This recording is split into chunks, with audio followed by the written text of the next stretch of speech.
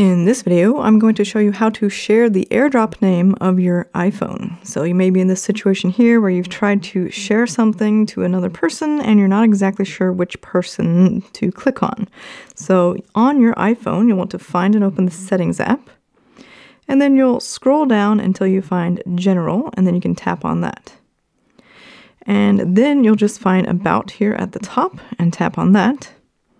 And also at the top here, it says name and it shows the current name of your iPhone. Now you can tap on this and you'll get a keyboard prompt that you can actually change this. So let me go ahead and change this. Maybe I'll call it iTech iPhone. So I'll go ahead and say done.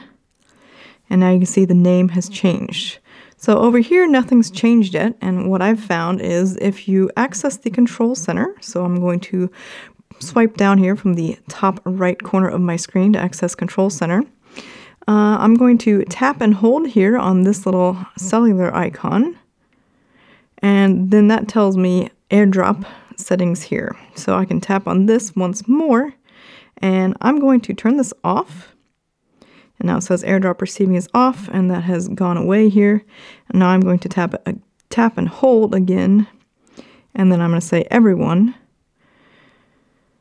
And now you can see, now I know that iTech iPhone is the one I want to share to. And I'll tap here and now you can accept or decline on your phone. If you found this video helpful, could you please give it a thumbs up down below as it really helps this video and my channel, and consider subscribing if you want to learn more about your iPhone. Thanks so much for watching, and I'll see you in my next video.